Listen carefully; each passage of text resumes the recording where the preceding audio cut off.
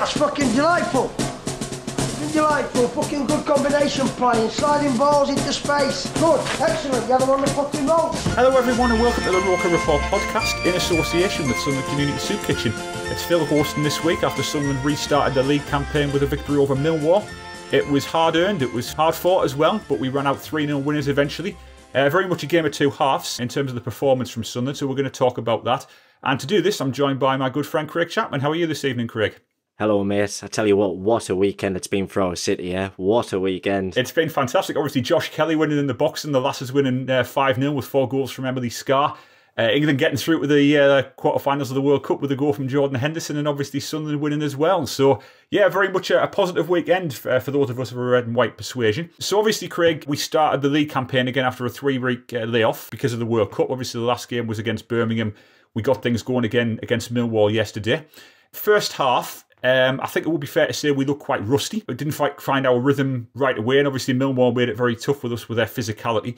Was that as a surprise to you, or did the first half kind of pan out as you expected it to?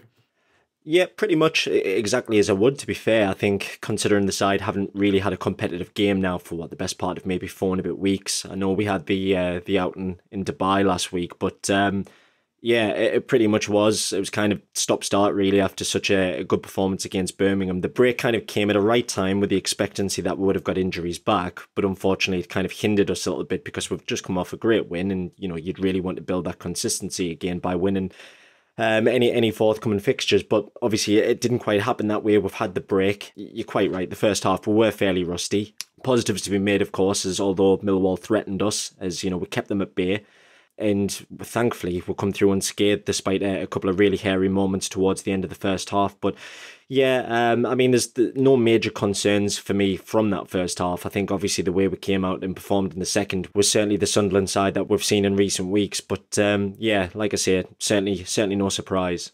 Yeah, I mean, obviously, uh, Tony Mowbray shuffled the pack a little bit with his team selection. Obviously, brought Aji Alese back in. Great to see him back after his injury there. I think he looked quite solid as well. Also, Luke O'Nien and Gooch came back in. Did you feel that that was a deliberate kind of move from Mowbray to maybe shore us up, give us a bit more physicality in terms of what we, you know, we knew that Millwall were going to come and try and be a bit of a blunt weapon and try and just kind of basically cut, bludgeon their way past us. So, do you think that was in Tony Mowbray's thinking by bringing the likes of Gooch back into the starting eleven? Yeah, I think so, and I think obviously, like you mentioned, I think it's a bit of a like a cliche when it comes to Millwall that they are this particular side, they play in this particular fashion, and, and to be fair, it's quite right. For large parts of the first half, they, they did bully us. I mean, it was, it was interesting to see even George Honeyman had, had actually developed a bit of that streak as well, but. Yeah. Um, you know, in terms of the experienced lads, I think when you've got somebody like O'Nien in there who will literally just put his body on the line for the club, and when you've got somebody like Lynden Gooch as well, you know, those lads in particular, they, they really stood out. And you know, might they have targeted, say, if we had a Huggins in there or a Human there? Obviously, we've, we've got Alex Pritchard in there as well. We've got Corey Evans in there. You know, I think it was very important to have a solid spine in there. You know, you, you really need players of that experience. Yeah, tricky first half. Millwall made it difficult for us. But what I liked in the second half is that we came out when it was as if the players had actually worked out that, hey, there's a problem that needs to be solved here.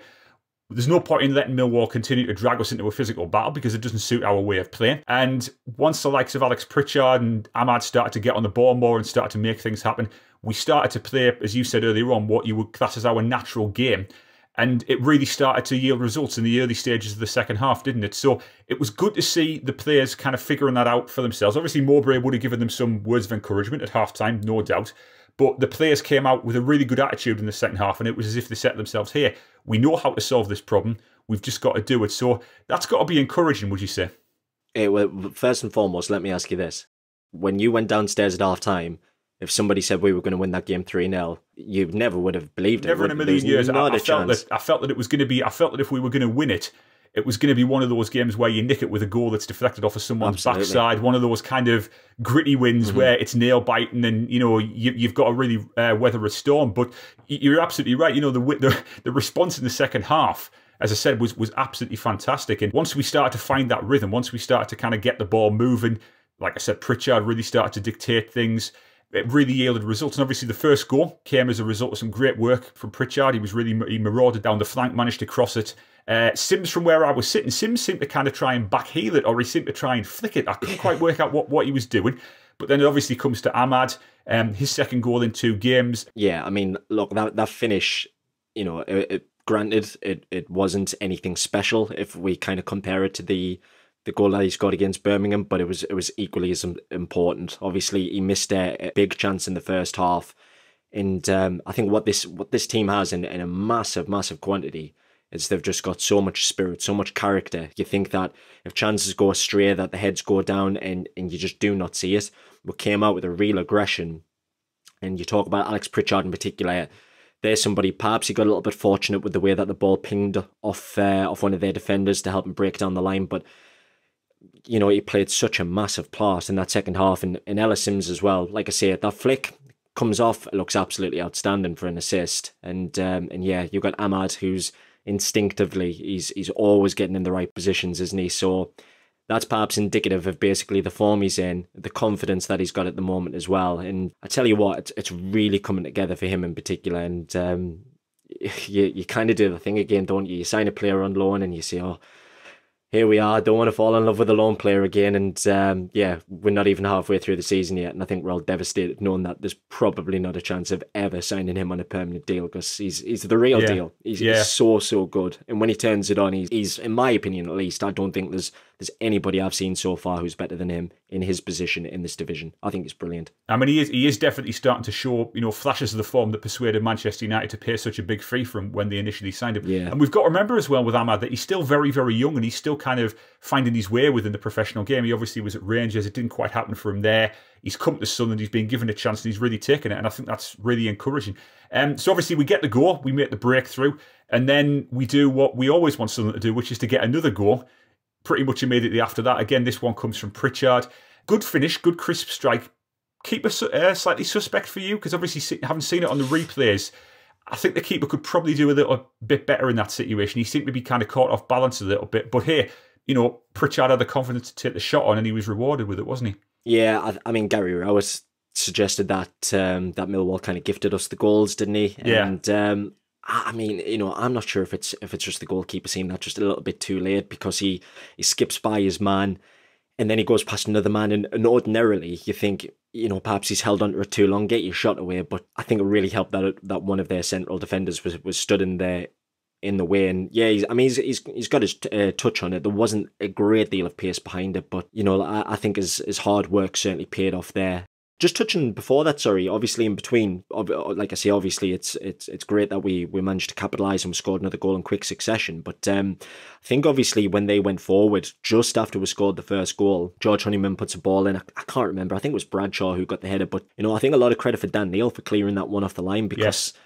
You know, if they if they put one away, then then you know it could have been a different game. But like I say, I think I think the confidence breeds in our team at the moment. When we score a goal, you know, everybody gets the tails up and um, everybody knows the job. But I think, like I say, in respect to the second one, if, if somebody's deserved a goal for, for hard work and patience and persistence, it's certainly certainly Alex Pritchard. And, you know, we've seen this season, Craig, haven't we, when Sunderland have got themselves into a 2 0 lead against Burnley and against QPR. We've kind of mm-hmm. maybe frozen a little bit. Our game management hasn't been as, as good as it could be, and we've not quite been able to figure out how to see the result out. But yesterday was an exception to that, wasn't it? And I thought the composure we showed, you know, as the game started to head towards its final stages. And I think this was probably epitomised by Danny Batth, who I'm sure you'd agree with me has been absolutely outstanding this season. Unbelievable. You know, um, unbelievable. And if you, you know, I think back to you know over recent years, how many how many transfer windows have come and gone when we've all been crying out for a big, strap and no nonsense centre half who can just lead, mm. who can organise, cajole, encourage his teammates, and who can do the nuts and bolts of the game really, really well. And he in O'Nien in what is kind of a makeshift partnership, if you like, in central defence, have been absolutely outstanding, haven't they? And I think this, you know, yesterday, a lot of our composure in the final stages of the game really came from them. I thought they were absolutely fantastic, weren't they? The thing, the thing with Danny Danny Batth, sorry, in, in terms of when he when he made his debut for us, uh, I think it was Portsmouth, the, the yeah. game that we, we won 1 0, Lee Johnson's last win. We, we'd done a pod thereafter, and I remember saying, like, instantly, reminded me a little bit of Paul Butler. That's exactly and then the irony was, on. Yeah. Yeah, the, irony was, we went to Bolton the next week, he scored no goal, and I went, oh, well, he's went from Paul Butler to Paul McShane. But I tell you what, ever since then, yeah. he's he's went from strength to strength. And to think, here's a player who we didn't pay a fee for, he reduced his wages to join the football club you know you don't get deals like that very often. And I know Speakman and and Stuart Harvey, you know, uh, there's there's a lot of eyes perhaps casting doubt on on some of the business and things like that. We, we can highlight some of the, the great players they brought in, your Stewarts and, and, and others. But I mean, I, I'd perhaps go a little bit overboard with it, but I, I honestly think that Danny Batth's probably the best central defensive player that we've had since since we were in the Premier League. I'd, I'd argue that that final season he would have gotten that Premier League team, no doubt about it, in terms of some of the rubbish that we've had since then. But yeah. he is unbelievable. He's so calm, he's composed.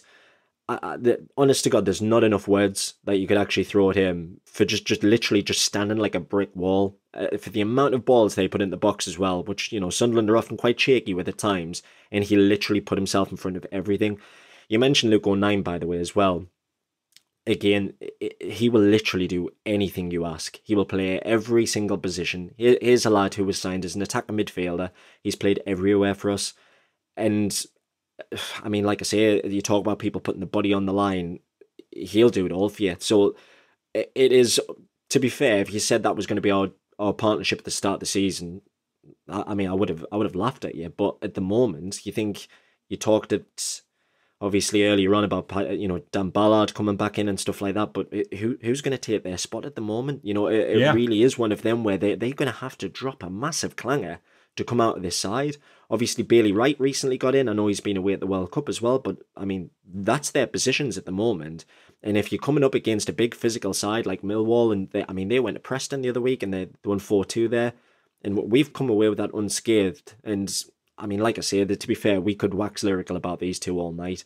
They've struck up some real good partnership. They've got a, a tremendous understanding with one another, and you know what long may it continue because, like I say, we're honest to God, we could be on all night. We could be on all night talking about how good they were. I mean, I think the thing that I really like about Batth as well, he's a defender who clearly relishes defending. You know, he's got that kind of old oh, school yeah. approach to defend. You know, mm-hmm. he takes pride in every header he wins. He, he, gets himself pumped up when he makes a good tackle, and he's always cajoling his teammates. And I think that leadership, as you said, we got him for nothing, and he cut his wages to come here, which shows that really shows his attitude and his motivation. And he's come here and he's started, and you know, even last year during the playoff run, he's been absolutely fantastic. And as you said, when we have a when we can call upon a fully fit squad, particularly in defence Tony Mowbray is going to have some massive selection decisions to make because we all know how highly rated Dan Ballard is. I mean, he's a former Arsenal FA Cup youth team uh, winning uh, skipper as well. You know, he, he's a really, really good player. We've obviously got Aji Alese, Dennis Cirkin as well. It's going to be a great problem for Tony Mowbray to have. And yeah, I think you're absolutely right, Craig. You know, that Batth is easily, in my opinion, the best defensive player we've had since the Premier League days. So at 2 0, um, obviously, we're seeing the game out and everything. You know, there's one or two hairy moments aside. And then Ellis Simms gets the goal that I think his efforts uh, merited on Saturday. Yeah. The long ball from um, Anthony Patterson, and obviously George Long in the uh, Millwall goal comes out. He on rushes. Simms reads it, he nicks it past him, and he slots it into the empty net. What I wanted to ask you about um, Simms, Craig, is that we all know how big a player Ross Stewart is for us, and we all know how central he is to our style of play. And Simms has got a bit, uh, his approach is slightly different on the pitch. He's got a maybe slightly more laid back playing style. His, his work rate isn't maybe as good as Ross Stewart's is, but he knows where the goal is. And I think in recent games, he scored against Birmingham and he scored yesterday. He's starting to show his worth, isn't he? And I think second half yeah. of the season, he could be a really good player for us. He's, um, I think, I just to be honest with you, I think he's a very, very clever footballer. And I know people perhaps look and they think, right, maybe why aren't you running? Why aren't you breaking a pace here? Why aren't you doing this, that, and the other? Because that is just not his game. Ultimately, what we want him to do is just put the ball in the back of the net. Yeah maybe a little bit fortunate, obviously, with the defensive clanger, um, in terms of obviously when the, the long ball came over, but still got an awful lot to do there. And, uh, you know, his composure in front of goal. Christ, we've seen strikers in recent years go past a keeper and, and, and obviously nothing's come off. Don't want to throw the bus on um, at Will Grigg there, but so be it. um, but no, I mean, like I say, obviously there's a lot of work to do he skipped by the the goalkeeper, and, and like I say, it's it's just as, as calm and cool a finish as you like. But we're talking about Sunderland being a young side and stuff like that. It's it's very easy to forget that here's another young lad as well. He's what twenty one year old, yeah, and you know we're asking him to do a big big job at the moment, holding the line and yeah, like like you say, obviously he's he's, he's ultimately he's got his rewards. he's really really committing himself to the cause at the moment. And like I say, look, you know, you can read things where people say he's not interested, he doesn't smile when he scores and stuff like that. But come on, who cares? Yeah. As long as he as long as he's scoring goals for us, who cares, you know? And um, and like you say, he, he's he's starting to really kind of flesh out now and shows what he's capable of. He scores all types of goals. I mean, when Ross Stewart comes back in, is it going to be a two? Who knows? Because again, we talk about who's going to come out. Nobody's going to replace Amad Diallo up there either at the moment, either are they? So, like you say, it's um, it's a nice problem to have. Lots of selection headaches at the moment, but just long may it continue. Yeah, so obviously 3 0 win, clean sheet as well, which which no doubt would have pleased Tony Mowbray. And that's put us back into 10th position. Uh, we're only a point off the playoffs now um, after 21 games. We're entering the kind of the festive schedule now. We've got West Brom uh, next week. And, you know, just looking at the games we've got coming up, a lot of them are against teams kind of in the lower reaches of the table do you see this kind of Christmas period as a real chance for us to start making some headway, maybe towards a promote a, a, playoff push? I mean, where where do you think our kind of ceiling is this season? Do you think it could it could be playoffs, or do you think it could be even more than that with some good additions in January? How do you see it panning out at this stage? If you ask if you asked me a couple of months ago where I you know would be happy with, where I'd be content with, I remember walking out of Wembley saying that just as long as we're not in trouble, you know, if somebody offered me twenty first, then I would have took it then. Yeah. But I'll be honest with you, I, I certainly did not expect us to perform the, the way that we have so far this season.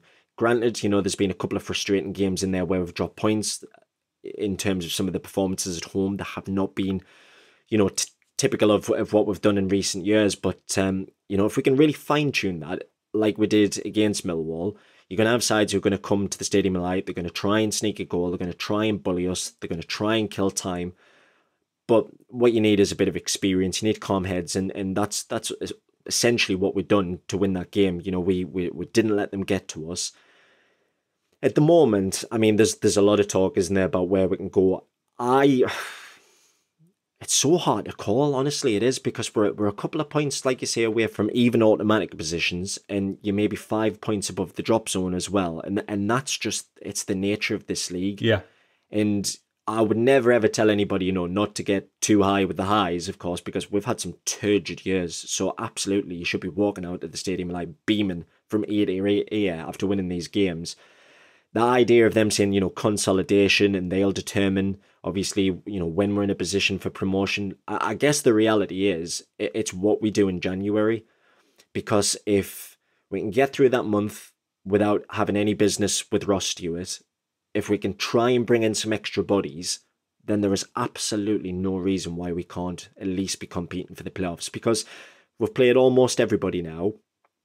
And yeah, there's been a couple of really standout teams against us. The Burnleys, Norwich were okay um, in terms of their defensive work. But I honestly think we're as good as anybody. I really do. So, I mean, look, ask us for a prediction now. I'd probably say I'll, I'll be happy with 10th. I, I expect us to perhaps be in and around where we are now. But if the club, and I don't necessarily want to say if they have the ambition, because I think that would be unfair. They've clearly got the ambition, yeah. in terms of the way that we've, we've brought in all of these, these you know, youthful signings who've got such a tremendous career ahead of them. Hopefully, all at Sunderland, of course. But I think if we strike right in January, there is no reason why we can't be knocking on that door try and get through the next fixtures because, you know, West Brom, funny side, down the bottom, they should be doing a hell of a lot better. You've got to try and win that game. Go to Hull again, funny side, but if if you want to do well in this division, you've got to beat the teams around you. Yeah. You know, and and I, I think that we're we're capable of going and grinding out results. So we just need to keep ticking over. Hopefully we can get some extra bodies back in. Ballard shouldn't be too far away. Stewart as well. But like I say, it's a great problem to have. I mean, we, we haven't even mentioned the likes of Patrick Roberts and, and others. We've got Dewey to come back from the World Cup. We've got yeah. Bailey Wright to come back. So it, it's a bit of an embarrassment of riches because we've got some tremendous talent and they, they can't even get in. We've got Jay Matete who's performed okay. This Michut as well. Edouard Michut. Abdoullah Ba. Yeah. We, we could, honestly, we could be on all evening talking about the players that we've got to come in. But what they've got to do is they've just got to they've got to grasp that opportunity when it comes because at the moment they're not going to get the chance because the lads who are performing, you, you can't get them out the side. And I've been long winded with this. I guess I'm just I'm honestly I'm I'm not happy. I'm not buoyant with just just how well we're doing at the moment. But I, I tell you what, like I say, they, they've all had the doubters. You know, Speakman, Kyril, Stuart Harvey. But I tell you what, if you lay down, you know, on a piece of paper what they come into in, in terms of where we are now, what they've delivered for us so far, it's night and day. Yeah. And like I say, I can't praise them enough because You go back this time last year, I, I couldn't have seen this. I think you go back a couple of months ago, I couldn't have seen this when we lost Alex Neil as well. But it's been good. We just need to try and get through the next couple of fixtures, get into January. Hopefully, like I say, we can bring in bring in some players. Wouldn't surprise me to see a few buddies go as well, but anybody's guess where, where we finish. But I think if we have a good window, you know, perhaps perhaps we might be booking Wembley hotels again. we'll see what happens. But yeah, I mean, just to pick up on a point you made there, Craig, I think it is it is correct. You know, this is a very open league, and we've been a match for pretty much anyone on our day when we've been able to, you know, field a fully fit squad when we've been on our game. You know, against Burnley, for example, okay, it was a game that ultimately got away from us.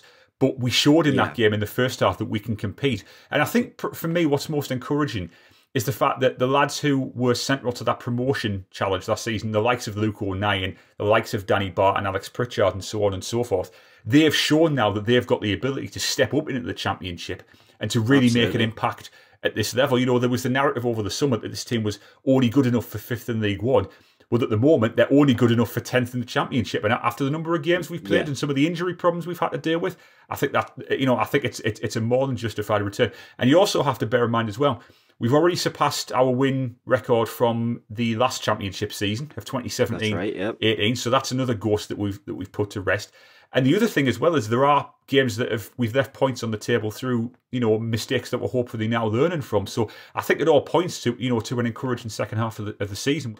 Well, um, we'll wrap it up there. Um, thanks for joining us, Craig. Always, always a pleasure to talk to you. RokerReport.sbnation.com will have plenty of post-match fallout. We've also launched our annual soup kitchen appeal as well. Um, all the details of that can be found on our Twitter page and on our website. So anything you can donate to that really does help them. We know it's a tough time of year for everybody, but all donations are gratefully received. And stick with us because we'll have more material coming up between now and the West Brom game. So thank you very much for listening and catch you later. Where am I going? I don't know. Where am I heading? I ain't certain. All is I am on my way.